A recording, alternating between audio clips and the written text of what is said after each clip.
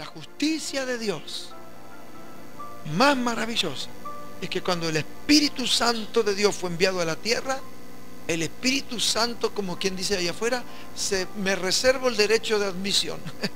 o sea que Él va a entrar donde esté limpio. Él no va a entrar en todos los seres humanos porque Cristo murió por todo el mundo. Él murió porque quiere que él murió por todo porque Dios quiere que todos se salven. Ah, pero qué gracia, no todos creen. Y decirle que está a tu lado, ¿qué quiere? ¿La chancha y los cuatro reales? No podés querer las dos cosas. Si vendés la chancha, no te quedás con los cuatro reales. ¿Eh? Una cosa o la otra. Si Él derramó su sangre para que te arrepientas y tú no te quieres arrepentir, ¿cómo el Espíritu Santo va a entrar? Él no entra. Él no pone vino nuevo en odres viejos. Si nos limpiamos, entonces lo tenemos. Hola. Ahora, eso es lo que Él va a probar en esta hora de la prueba. ¿Quién lo tiene o quién no lo tiene? Porque según la justicia humana, todos dicen, yo también creo en Dios. Ah, yo también soy de Dios.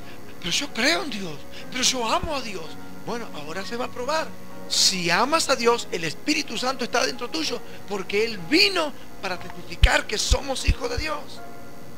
Si el Espíritu está ahí, entonces tú no vas a perder la cordura ni te vas a enloquecer cuando esto empieza a temblar y a ponerse mal. Ahora, yo quiero pedirte por favor que sepas que el Espíritu Santo de Dios quiere entrar en tu corazón. Mateo capítulo 25 dice que en todo el mundo, en toda la cristiandad, en todo lo que dice, mire, esto incluye hasta los católicos, ¿eh? a los mormones que hablan de Jesucristo también, ¿eh? todas las religiones, Dios las tiene como diez vírgenes a todas las religiones, Dios la tiene como diez vírgenes. Pero cinco eran prudentes tomando aceite, que es el Espíritu Santo. Y cinco eran insensatas. Tenían la lámpara, la lámpara es la palabra, pero no tenían aceite. El asunto está, es que el Espíritu Santo, Él ve si realmente es un lugar agradable tu corazón. Y Él va a entrar si realmente te arrepentiste con sinceridad, Él va a entrar, no hay problema. Aleluya, Señor, te amo. Dios, tú eres mi Padre. Bueno, está el Espíritu Santo, empiezan los problemas, no hay ningún nada que temer, porque Él te va a consolar, es el consolador. Juan capítulo 14, el Señor dijo, yo rogaré al Padre y dará otro consolador en, que ocupará mi lugar. Cuando yo estaba con ustedes, yo los consolaba, yo los guardaba, yo los mimaba. Pero ahora yo me voy es necesario que yo me vaya, porque si yo no me fuera, el consolador no vendría. Mas me voy y os lo enviaré. Y Él es el Espíritu de verdad que os guiará a toda la verdad. Hola. Entonces, es necesario que creamos para tener al Espíritu Santo. ¿Usted cree? ¿Usted cree de todo corazón? Pues pídale al Espíritu Santo, muéstrame, manifiéstate.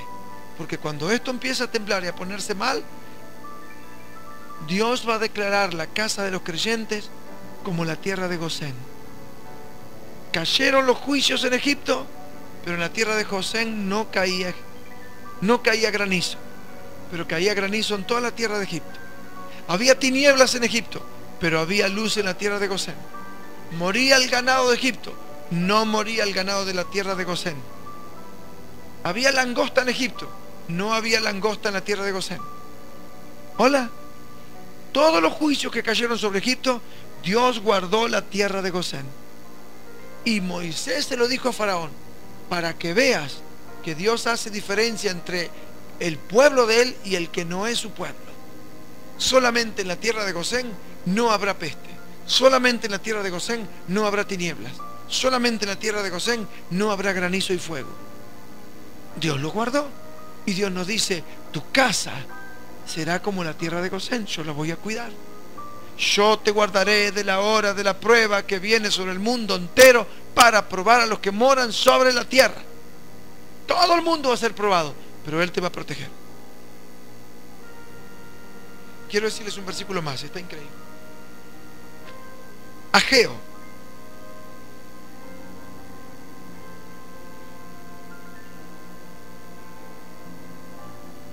Ageo, profeta Ageo. Está antes de eh, Zacarías. Ageo, capítulo 2.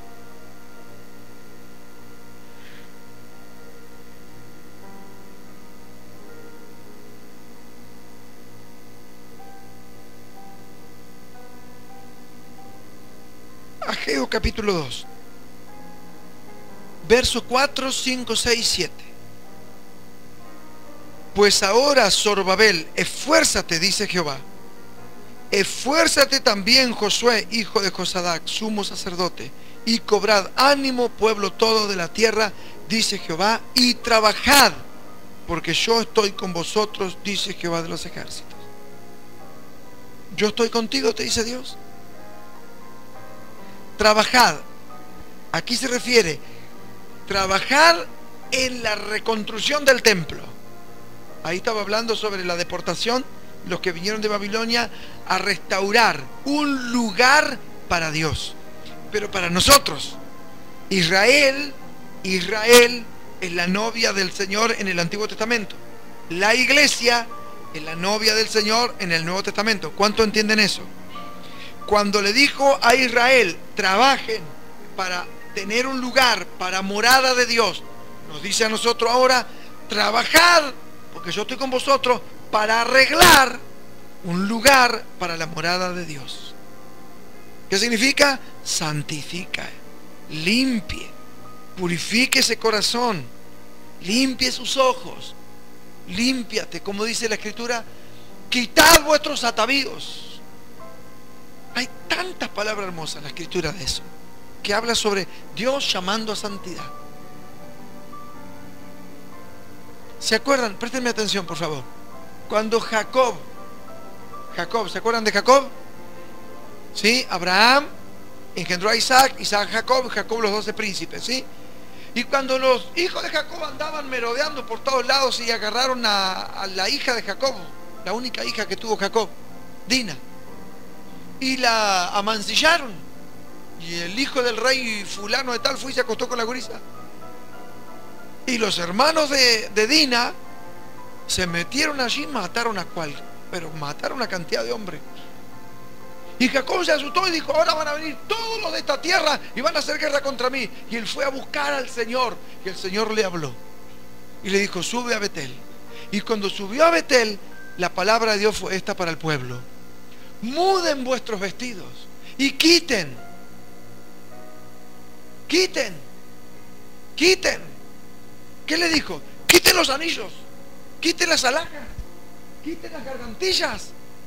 Y saquen los es increíble, es increíble. Dice, saquen los ídolos de vuestras casas. Y dice, y los escondió todo ahí en el fondo de un tamarisco, eh, a la raíz de, de, de un árbol. Los escondió. El pueblo era pueblo de Dios y sin embargo, como andaba con las costumbres paganas. Y le dijo, quitad vuestros atavíos, las lunetas, los arcillos Éxodo capítulo 19, escuche bien. Éxodo capítulo 19. Dios iba a descender sobre el monte Sinaí, pero le dijo a Moisés, dile al pueblo que se limpien hoy y mañana, porque al tercer día yo descenderé sobre el monte. Un día son como mil años, dijo Pedro. Dos días, dos mil años. Y al tercer día, que ya, estamos, que ya comenzó, vamos 16 años del tercer día, ¿sí o no? ¿Sí o no? El Señor dice, al tercer día el Señor vendrá. Pero ¿qué dice allí el mensaje a través de, de, Moisés? Ve y santifica al pueblo hoy y mañana, porque al tercer día yo descenderé. Hoy y mañana. Ahora, Oseas, Oseas, profeta Oseas, capítulo 6, dice, en dos días nos dará vida.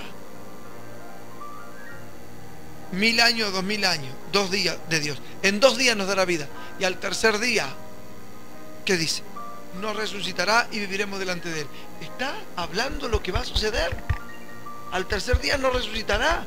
Porque los muertos en Cristo resucitarán primero, luego nosotros seremos arrebatados juntamente con ellos. Está hablando de este tiempo que Dios está preparando. Viene, viene, viene, viene, viene, viene. Y no tarda. Ahora miren lo que dice Ageo. Decirle que te tu lado, agarrate que te vas a cabalgar. o te caes del banco. Ahora pues, Zorobabel, esfuérzate, dice Jehová, esfuérzate también, Josué, hijo de, hijo de Josadac, sumo sacerdote, y cobrad ánimo, pueblo todo de la tierra, dice Jehová, y trabajad, porque yo estoy con vosotros, dice Jehová de los ejércitos.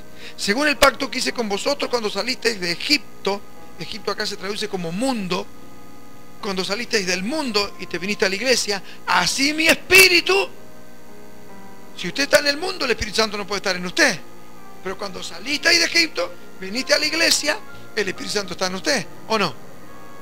Así mi espíritu estará en medio de vosotros, no temáis, porque así dice Jehová de los ejércitos, de aquí a poco yo haré temblar los cielos, la tierra, el mar y la tierra seca, y haré temblar a todas las naciones y vendrá el deseado. ¿Qué más clarito que eso? Las trompetas, la copa de la ira y el Señor que regresa. ¿Está escuchando? Y haré temblar a todas las naciones y vendrá el deseado de todas las naciones y llenaré de gloria esta casa, ha dicho Jehová de los ejércitos. Está hablando otra vez para la novia del Antiguo Testamento que es Israel, llenaré de gloria esta casa. Y luego dice, la gloria postrera será mayor que la primera, porque cuando Cristo venga, se va a restaurar otra vez otro templo. El primer templo, ¿quién lo hizo? Salomón. El segundo templo, tiempos de Edra y Nehemías. El primer templo lo hizo Salomón y lo destruyó Nabucodonosor. El segundo templo lo levantó Edra y Nehemías y lo destruyó el emperador Tito de Roma en el año 70 después de Cristo. Y lo único que queda es el muro de los lamentos, ahí donde están todos los judíos orando así.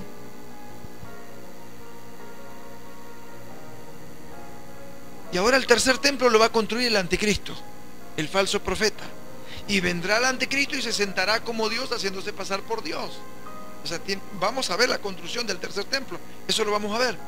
Pero lo va a destruir el Señor en la batalla de Armagedón. Y cuando el Señor regrese, si de todo corazón Israel se arrepiente, le dice el Señor a Ezequiel capítulo 40, si la casa de Israel se arrepiente de todas sus abominaciones, muéstrale el diseño de la casa y avergüéncense todos ellos. Y le muestra el diseño de la casa, que es el templo que el Señor mismo va a construir cuando regrese, cuando Cristo regrese. Esa es la segunda venida visible. Recuerde, primero Cristo viene por la iglesia, viene como ladrón. Nadie lo va a ver. Como ladrón, nadie. Nadie lo ve hasta que te robaron el lavarropa. Decirle qué sueño pesado que tenía. Salió con el lavarropa y no te diste cuenta. Pero viene como ladrón. Decirle que está a tu lado, mi Señor no es ningún ladrón. El ladrón se lleva lo ajeno, pero Jesús se lleva lo que es suyo.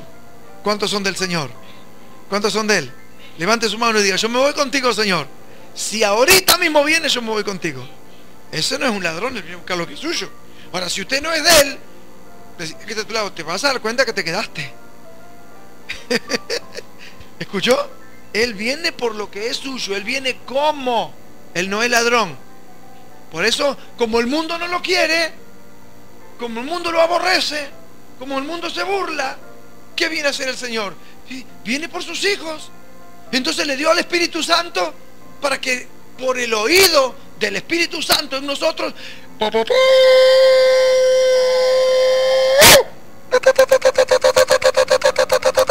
es el ruido del chofar. Y cuando comienza a sonar la gran trompeta final, los creyentes la van a escuchar. El mundo no. El mundo no va a escuchar la final trompeta, pero los hijos de Dios sí. ¿Y qué va a pasar cuando empecemos a escuchar la trompeta? Cristo, oh, Señor, Señor.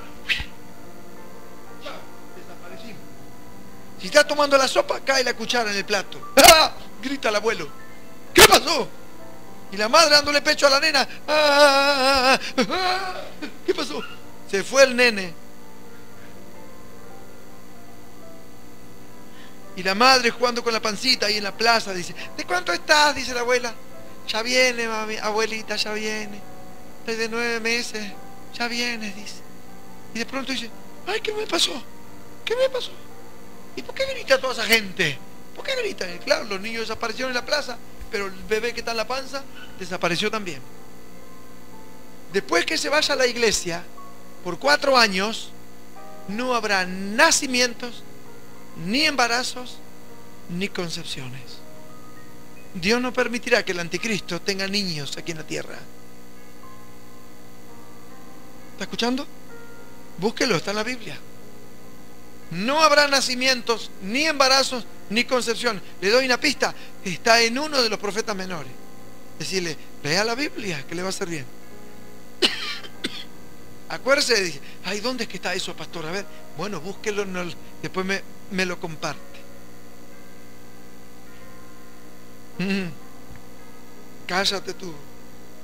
No ande ahí colgándose la oreja de nadie. Haré temblar la, todas las naciones y vendrá el deseado de todas las naciones. Y llenaré de gloria esta casa, ha dicho Jehová de los ejércitos. O sea, para Israel, la casa que va a llenar de gloria es el templo nuevo que va a construir el Señor.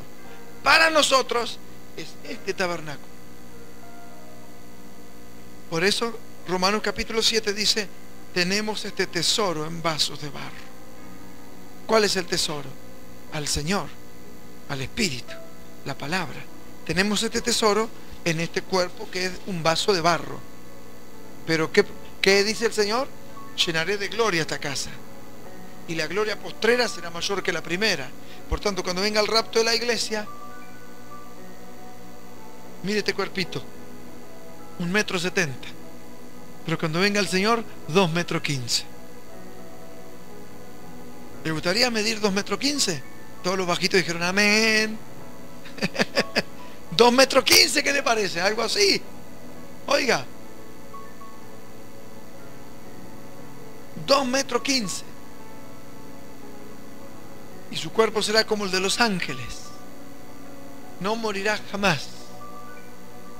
Será un cuerpo asexuado. Usted no tendrá sexo.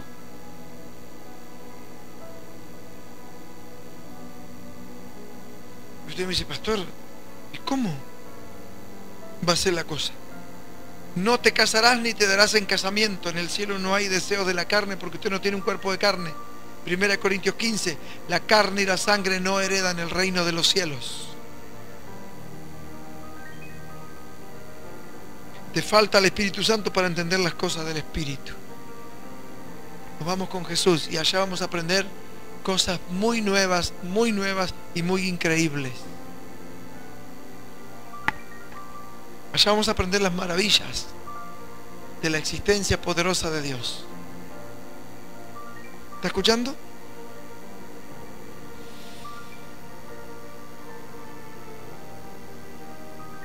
Lucas capítulo 21. Estábamos en el 22, ahora vamos al 21, estoy terminando con esto.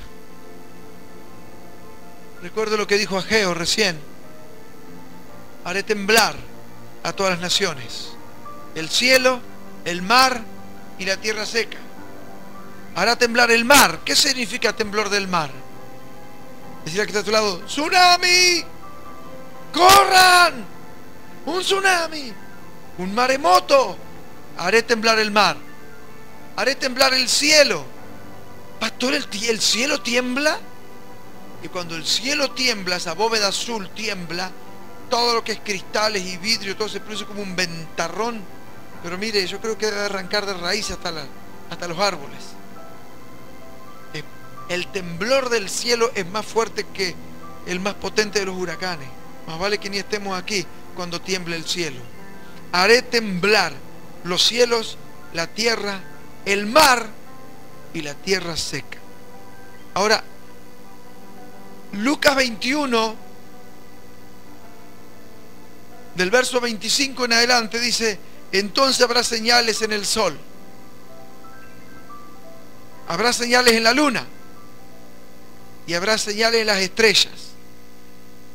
Escuchen, amados, y cuando haya señales en el sol, en la luna y en las estrellas, ¿eso qué es lo que va a producir? El versículo dice, y en la tierra angustia en las gentes, confundidas a causa del bramido del mar y de las olas. ¿Y qué sigue diciendo? Desfalleciendo los hombres por el temor y la expectación de las cosas que sobrevendrán en la tierra, porque las potencias de los cielos serán conmovidas. Entonces verán al Hijo del Hombre que vendrá en una nube con poder y gran gloria. Cuando estas cosas comiencen a suceder, erguíos y levantad vuestra cabeza porque vuestra redención está cerca. También les dijo, mirad a la higuera. ¿Cuál es la higuera? Israel, la nación de Israel. Mirad a la higuera, que cuando brota y está fuerte, es porque el verano está cerca. Cuando él dice que el verano está cerca, se refiere a lo que dijo Malaquías. Viene el día ardiente como un horno.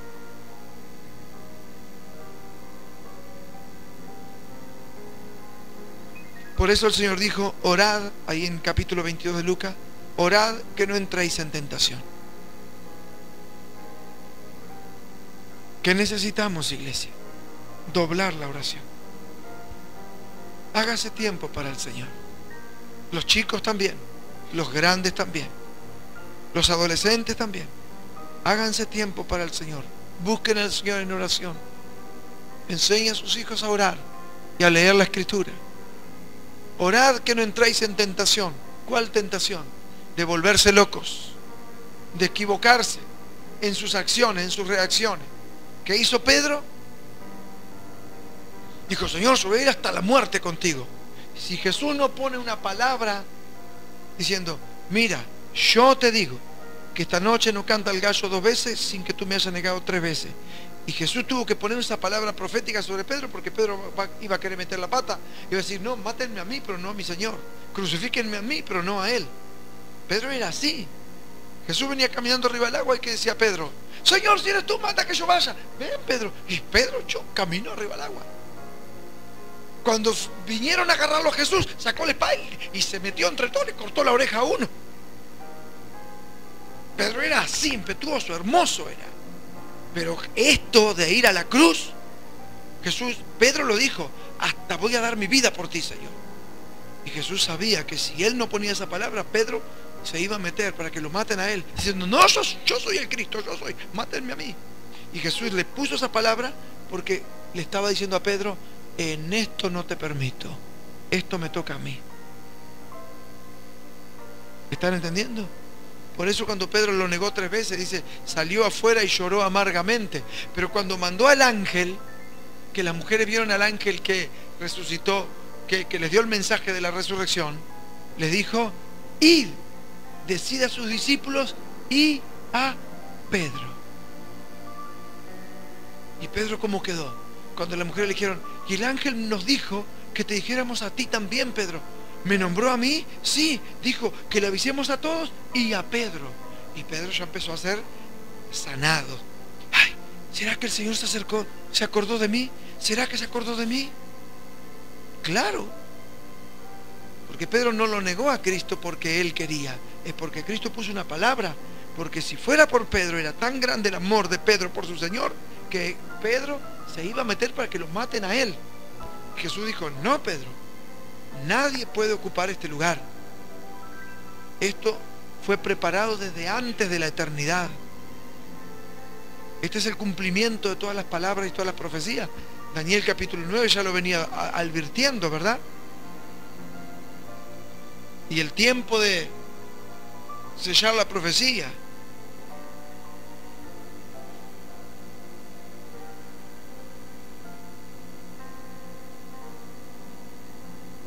Sí, lo sé, pero, pero no sale nada de ahí.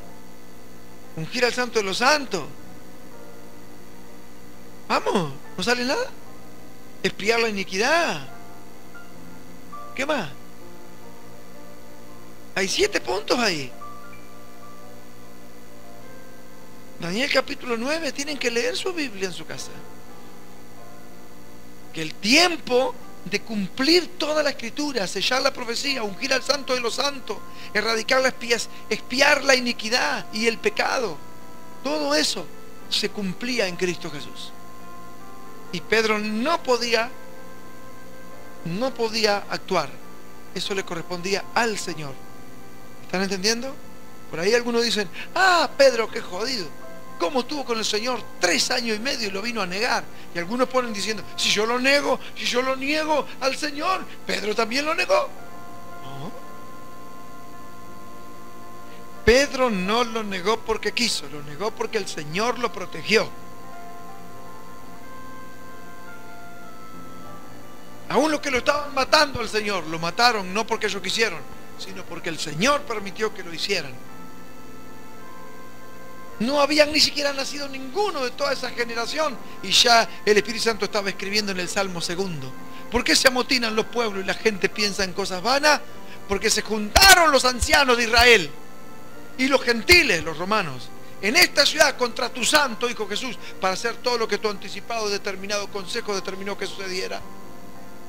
Ellos no estaban en control de lo que estaban haciendo. Había una mano invisible que estaba dirigiendo todos los acontecimientos. ¿Está escuchando? Todo lo que está sucediendo ahora en este último tiempo es la mano de Él que está mirando la escritura para que todo se cumpla. Abrirás tu corazón porque estamos en tiempo en que Él anda buscando todos los que quieran ser salvos. Abrirás tu corazón para aceptarlo y vivir para Él y creer en Él. Cuando Él venga a buscar a los suyos que te lleve ¿O cerrarás tu mente y tu corazón diciendo, yo voy a seguir mis propios caminos? Cuidado. Él nos dice en esta hora, oren, para que no entren en tentación. ¿Cuál tentación? Se va a poner feo, se va a poner difícil. Debemos tomar aceite en nuestra redoma. Y deben de saber, mire qué maravilloso que es Jesús. A pesar de todo lo que viene, Él dice, para que sepamos antes y las diez vírgenes, la prudente y la insensata, todas cabecearon y se durmieron.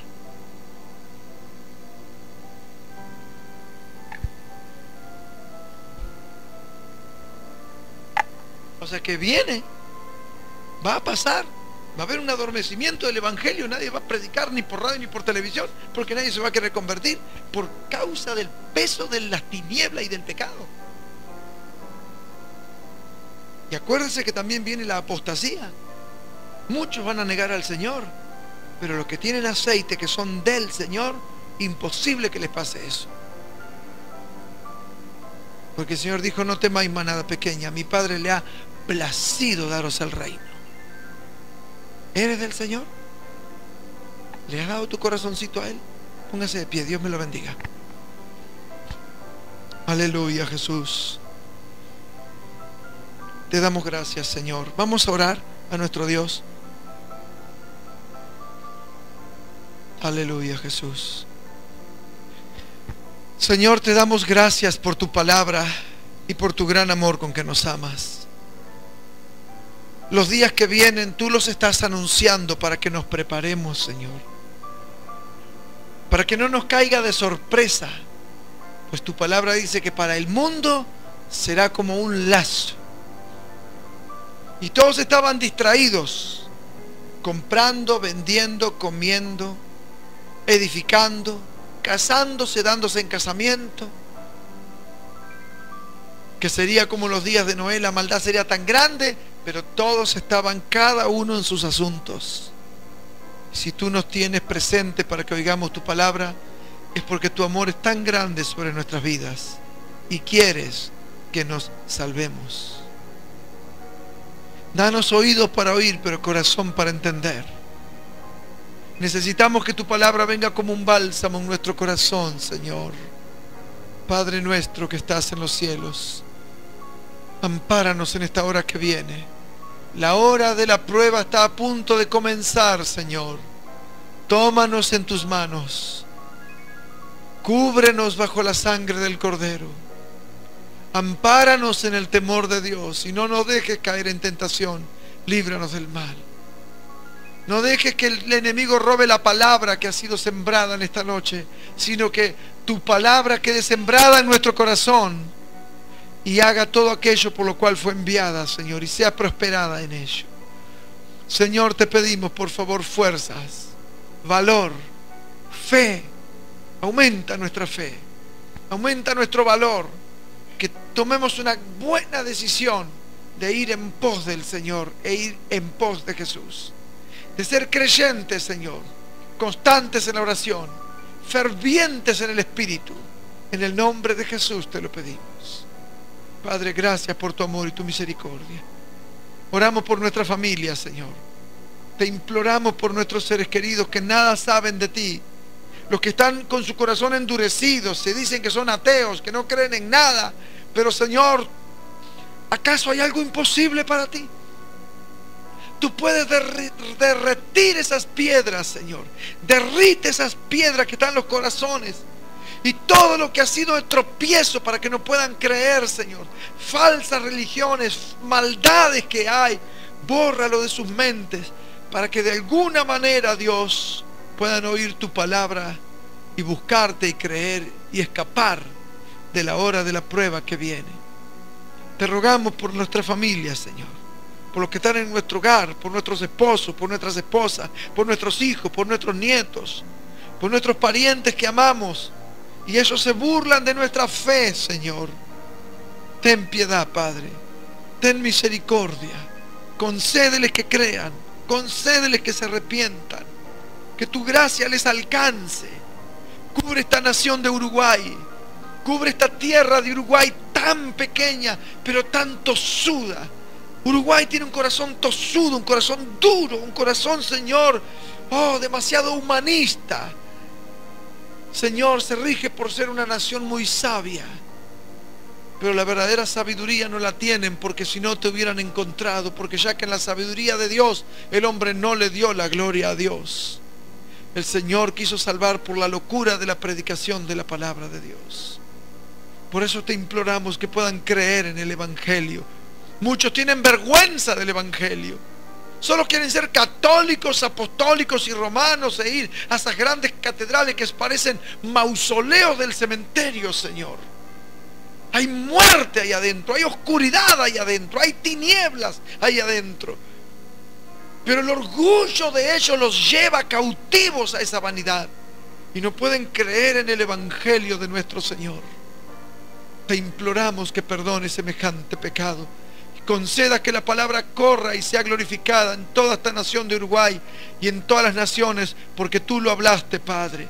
Tú vas a cumplir lo que tú hablaste y será predicado el Evangelio del reino en todo el mundo para testimonio a todas las naciones y entonces vendrá el fin, dice Mateo 24, 14, Señor. Y tú lo dijiste, tu, tu boca lo habló, tus labios lo pronunciaron y tú vas a cumplir esa palabra, Señor, que será predicado el Evangelio. Te rogamos que te acuerdes de nuestro hogar y nuestra familia. Señor, perdona sus pecados, perdona sus maldades, perdona a los que están endurecidos en sus corazones. Lo que viene será horrible. Te lo pedimos, Padre, en el nombre de nuestro Señor Jesucristo. Amén, amén y amén. Denle una ofrenda aplauso al Señor. Dios le bendiga.